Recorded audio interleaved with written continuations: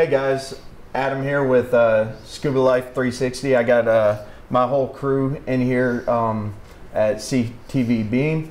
We're uh, interviewing each other, uh, just having a good old conversation about our latest dives.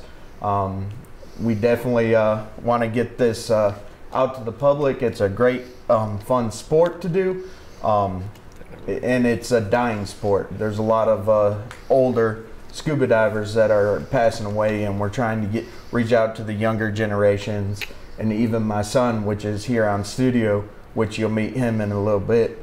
He's actually going for his first open water certification uh, as well. So let's start out. Um, Matt, my good dive buddy, he was one of my first students. I actually instructed. So Matt, on the biggest memory from your very first time putting scuba equipment on, what do you take away from that? Uh, well, there's a lot of things I really took away from that, but I mean, really, in all honesty, all of it was pretty awesome, Adam. Uh, uh, it's it's just a different world when you're under the water. So, I mean, uh, just getting to see things that nobody else has seen, uh, really, it's just amazing. First time I got underwater was pretty pretty sweet. On next, we got Tyler um, Blackman from uh, his YouTube channel is Tyler Smart. Um, I've been diving with Tyler for probably a year or so now, and um, we actually go out and clean up the Chattahoochee River. Um, Tyler just uh, listed a video on YouTube. Make sure you check his channel out. Tyler, on the biggest thing I know with the video we just shot um, with the warhead we found. What can you tell other people why we're cleaning up, getting the river cleaned, stuff like that? Yeah, so personally, um, the, the cleaning up the river and um, all those things, it, it really comes down to trying to spread a positive image, really. Um, there's a lot of people who, you know, chuck trash into the river and stuff like that. So, along with the cool finds that we do find and, you know, the things that we're able to find and then return to the owners, um, I just feel like picking up the trash that other people just throw in, it's a huge positive impact, and I just want to send a positive message. All right, on to our other buddy Matt. We got two Matts in our crew. Um, he his YouTube channel is actually Dive and Seek. So Matt, um, again, I know you're a new diver. Mm-hmm. Um, like uh, with Matt here, um, what is the best for you diving? How does it make you feel? It takes me a little bit out of my comfort zone. Um, I'm a strong swimmer, but I'm not the best breath holder. So being able to be in that kind of environment without actually having to worry about holding my breath changes the game for me. Uh, I, th- I think the biggest thing is being underneath there and taking all my equipment off and keeping my regulator on and just sitting and basking in the surroundings that I know very few people get an opportunity to do. Completely changes my outlook of, you know, my day-to-day lifestyle, and all I can think about is getting back on the water. Sweet. Um, now I know in our last um, dive we did Mm-hmm. with Tyler the jet ski, and I also had the Sea-Doo scooter, and you actually got a chance to use it. What was your take on it? Um, I wanted to go faster. uh, it's got three different gears to it, and I know you press it down to change the second, release, press again, third, and it just engages you forward, and you can kind of control which way you're going. Um, it did make it a little difficult having the extra weight on my back. I think if I was underneath there with a smaller tank, or maybe not a second person holding on to it, because me and Andrew Yeah. were both attached to it holding on That to it. That was a fun time. But I think if we had a, a lower depth in using it, it would have been a completely different experience. But first time ever getting to use a Sea God, Sea-Zoo, Sea-Doo. Sea-Doo. It, it- Uh, the actual proper name is DPV. DPV. It's, um, dive propulsion unit vehicle, and there's actually a certification to go along with it to teach you how to use it safely. So while I was using it um, uncertified and uh, under the water, But you had cool. an instructor with Yeah, you, so you're good. Um, it was cool. I enjoyed it. It was a lot of fun. Um, the biggest thing coming up is I do have another student. He ain't here tonight, but uh, all of us will be going down to Vortex Springs. Um, we'll be filming, um, enjoying time down there. It's a big old campground. Um, just great time to interact with each other, tell our dive stories. Um, Tyler, um, the biggest thing with cleaning the river, I know we went and I took y'all to 280 Bridge. The reason why I go out to, to certain areas is because people actually throw out weapons, knives, and the there's kids swimming in these waters every day. And the biggest thing for me is to clean up these waterways so my sons can have them when they're older. Anybody want to put input? Yeah, so um, along with the picking up the trash and stuff like that that we do, um, there is that positive image also. Um, but like you mentioned, finding some of the things that's in the waterways, it's it's crazy, man. You know what I mean? You can go into the water and find something that you would never expect, Uh, and we've, we've been we've been Yeah. witness to that, obviously. So Um, I mean, yeah. which um, Tyler's been up around Atlanta a lot. Um, we definitely um, want to hit that spot again. Um, I got a couple more dive trips planned out. Um, Matt's gonna come with us. Um, we actually have to have access by boat to get to them. They're um, a little further out than a surface swim, but we'll do it safely and uh, get that footage to y'all. Um, Matt, on the um, certification side, what is the most rewarding class you ever took? Hmm. Or what are your certifications so far? Uh, let's see. I got open water, advanced open water. let's see. I got rescue. I got peak buoyancy. Uh, I think that's it. Maybe one more. Enriched air? Enriched air, Yeah, that's it. So, um, just to touch on um, his certifications, which you've been diving a year or so. You're right at a year. Um, first step is to get to a scuba shop or come see me. My contact will be in the bottom of the screen. Um, definitely um, don't try this. Don't try this. Don't try this if you are not trained. This Most is a no. a extreme sport, but when we're doing it safely, it doesn't seem extreme. But you will and can be seriously injured doing this sport without the proper training. Um, let's touch on rescue. Um, so the first one was open water. correct. Um, then we went to advance, and Right. you, you got a little bit deeper. So the way us instructors describe it is you're in a glass ball as an open water diver. Then your advance, your ball gets a little bit bigger. You're worried about the environment, um, trash, picking up, stuff like that. Then you get into rescue. And that's a big, big step. Because now instead of just worrying about yourself, you're actually being trained to actually provide care for others who are in emergency. Um, on the rescue class, um, without going into too much detail, what, how was the training? Uh, the training was great. Um, you, you first go in, you, you, you take the class pretty much like any other class. You start with paper, paperwork, you know, computer work, stuff like that. But then when you actually get out in the field and you get out in the water, and you just learn how to actually find people that are under the water and how to, you know, bring them back and actually take care of them. That way they have a second chance to live. It's pretty amazing. So I like it a lot. Um, I uh, also an instructor in rescue. Um, the biggest thing, and you know this, it's a serious class. Most definitely. Um, all of us instructors take rescue diver as the first step to becoming a professional diver. Um, which after rescue you got dive master and then instructor, which I am. Um, and that's when you start learning the different areas of equipment, um, what not to do, the do's and don'ts. Um, actually teaching rescue, and when I'm teaching rescue, as you know, I am very serious because that's someone's life. Most definitely. Um, Tyler, when you ever been entangled or anything in the river? have ever been Entangled in something. Um, yeah, there's so whenever we dive, I always have a knife on me just for protection purposes. Um, but yes, there have been a couple times where I've been tangled up in things like fishing lines, nets, and things like that, and um, just having that knife has really gotten me out of a lot of trouble. So, as scuba divers, we're taught to have a cutting tool. We don't call them um, cutting knives, knives. Um, the biggest thing is any tool that could free you from an entanglement. And I'm sure when you got entangled, your heart started racing. Oh yeah, and through the training and everything that you gave me, and as you were my uh, instructor, um, as or through that training, you know, you learn about how to stay calm during these situations and stuff like that.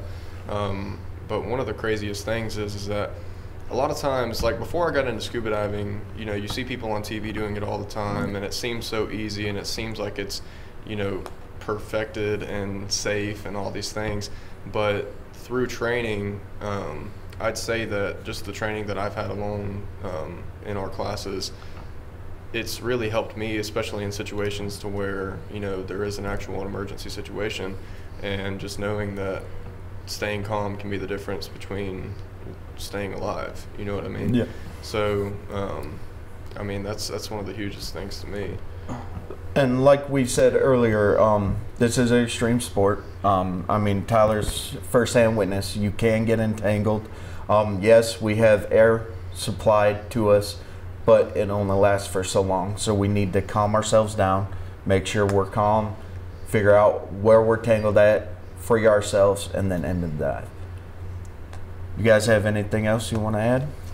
Um, be aware of your equipment. Know what you have on you and make sure it's all in tip-top shape. I think the worst experience I had was actually one of my very first dives with Tyler. We went to Orlando and went to Rock Springs, and they have this huge cave or cavern that goes 180 feet down. Now we only went maybe 40 or 50 feet down, but as I was down there, I started feeling really lightheaded. Uh, saw the black spots in front of my eyes right before you passed out. I know out. exactly what you It had. first time ever feeling that below water. Above water, I got it all day. Iron deficiency, sure, but um, but below water, it was a different story. And apparently, I had faulty air. The the place I took it put in unfiltered or badly filtered air into the tank, which caused Contaminated. me contaminated. Yeah. So uh, luckily, I had Tyler, who was more than experienced and who could help me out and kind of like calm me down, walk me through it, gave me his regulator, and then we worked our way up from the depth that we were at to safety, and then switched out tanks. Obviously, put a new one on. So you actually brought up a great point. Um, as of all of us are scuba divers, um, I can't stress enough to research where you're getting your air tanks filled if you are a scuba diver. Absolutely. Because, like you said, contaminated air that could Never even thought you. about it. Never thought that was even an issue for me while I was in the water. It, it definitely, um, and uh, also um, at certain depths, you get nitrogen narcosis depending on your uh, dive tables and stuff like that. But um, that's why we use the BRAF. Um, Bruce Willis ruins all films, which I'll probably get yelled at for that. But um, BCD, which we all do it. Um, we check each other's BCD, which is the pack that goes over the scuba tanks. Um, making sure they ain't red. Um, weights, make sure we are all proper weighted. Because if you're overweighted, you're using more of your air to inflate your BCD, and you're struggling. Most of the dive, ain't going to be a good dive. Um, air, so that's where the air comes in. All. Um, so what we do as a buddy check, as you guys know, I'm just explaining to the audience that we'll actually smell each other's air because if it's contaminated, you'll know it right then. Um, and then we'll go on to releases, final okay, and then we're ready to dive. Like it. Yep. I know the the first thing that kind of got me into diving was uh, whenever I got invited to go to UCI. Yes. Okay, so UCI, it's a uh, investigator class. Uh, Adam was in that class. He's actually a graduate of it. Uh, the sheriff's department was there. Pretty cool times. Uh, I actually have a pontoon boat, so I got invited from a boat, but kind of fell in love with it. Uh, it. It's just amazing what you find down there, really. And I know they found a gun and a couple other things down there that day. A purse that was weighed down with a brick, stuff like that. So it's just it's just crazy what they what they find down there. So And Tyler, that's what I was talking about. Um, I am a master underwater criminal investigator. Um, I'm actually trained on how to clear a bridge totally and fully, uh, 99% accurate. And that's what I was telling you about the jack stays, which um, we'll show that on our next dive down at um, Vortex. Cool. Are you guys excited? Heck yeah. Heck yeah. I got a stoked. condo. I've never been to Vortex.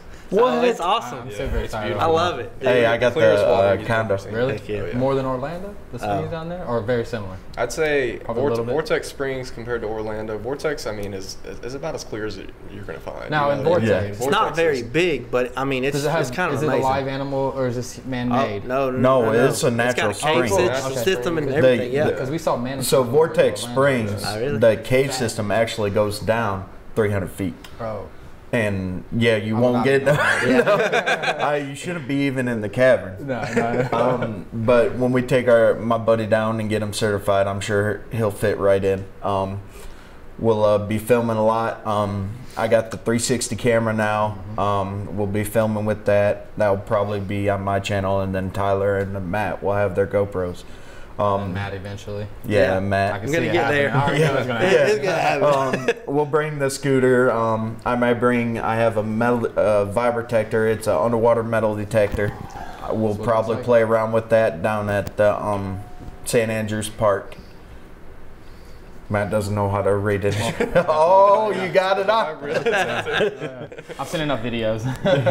But Um, uh, there's also Devil's Den that I want to visit too. Devil's Den. Yeah. Um, My mother went diving down there, and also the coral reef off of the Florida Keys, which is Yes. another spot I was told. I know the coral reef's not in the greatest shape right now, but it's still a site for sure. yes. So. Um, and like I said, I got many King connections, and we could get a boat down there and head out. Um, actually, my buddy who was just down there lobstering, he uh, dropped his boat in Miami and left his car and went to the Keys nice for a week. I wish. goals. That's Yeah. crazy. Yeah.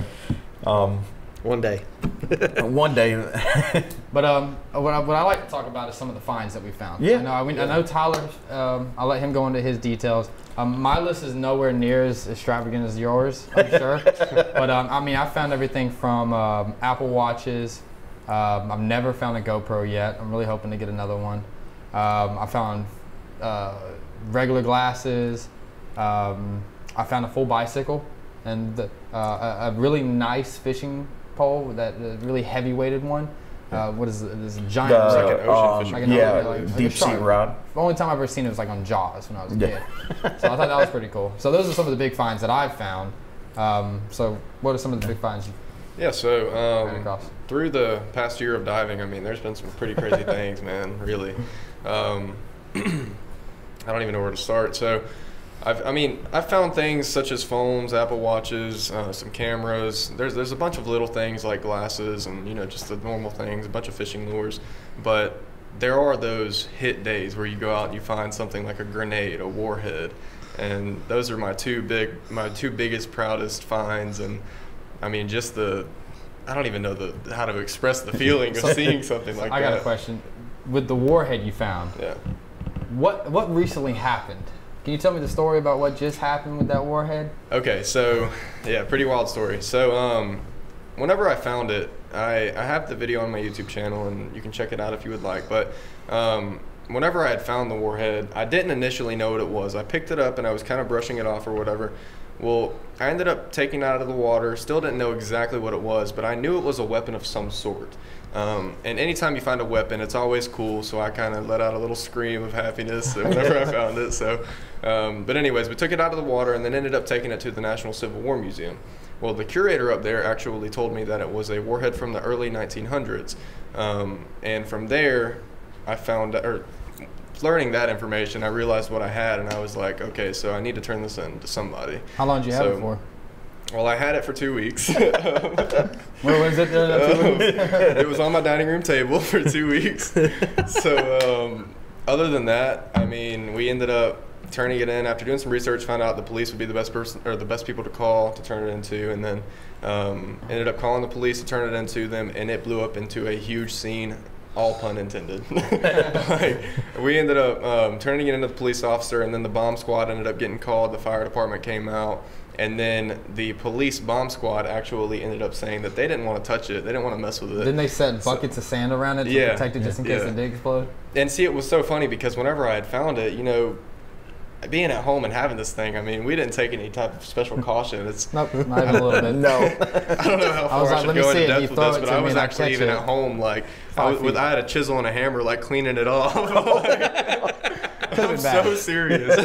while, while I'm on the couch playing video games, he's Yeah. cleaning a bomb. but I didn't know what it was at this point. I'm surprised so- you didn't get put on like a terrorist watch. Man, I know, I know, I know. At least all of us, because we were all there. Man, So it could have definitely went worse than it went. But um, the police, after they ended up putting the sand buckets and everything around it, they came to the conclusion that they didn't want to mess with it just because it was a military weapon. So they ended up calling Fort Benning Bomb Squad. They came out, diffused the situation, pun intended again, and uh, they diffused the situation, and everything turned out cool, man. It was it was a lot of fun. It was definitely an interesting experience and something I'll never forget, man, because it was it was wild. It was very Thank God we videotape everything, oh yeah. Oh, yeah. Yeah. every bit of it. It And was I know you got an opportunity to be on um, three different news channels because of this. Yeah, You set up um, different.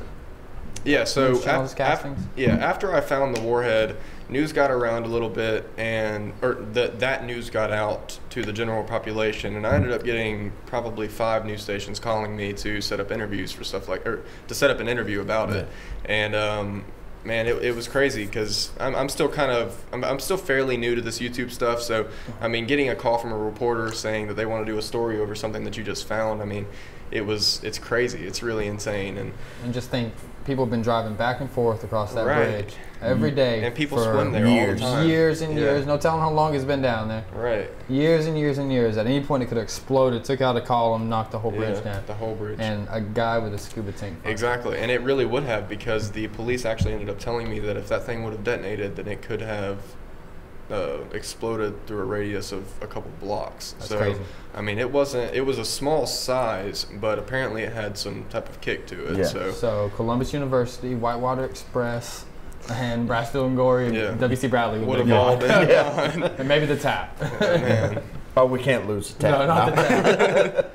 the hooch, maybe, not the tech. So um, our next dive is coming up in a couple weeks. Uh, definitely uh, stay in touch with us. Um, I know me and Tyler will post them both to our YouTube channels. My YouTube channel is actually Scuba Life 360. Again, Matt's is Dive and Seek, and then Tyler is Tyler Smart. and my first video will be coming out this Friday. Sweet. Yes, I'm super excited. Make sure you subscribe. Yes.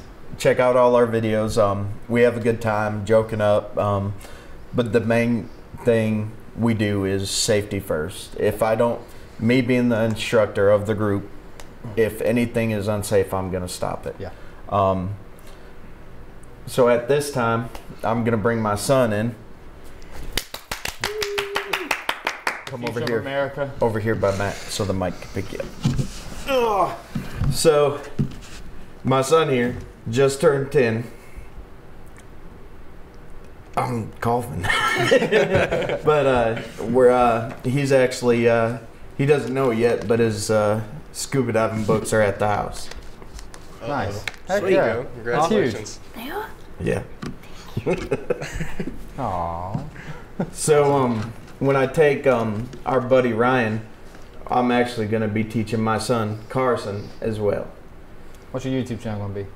Might as well go ahead and start thinking of it now. Yeah, you might as well start. You're be on You're already. all the time. So get ready.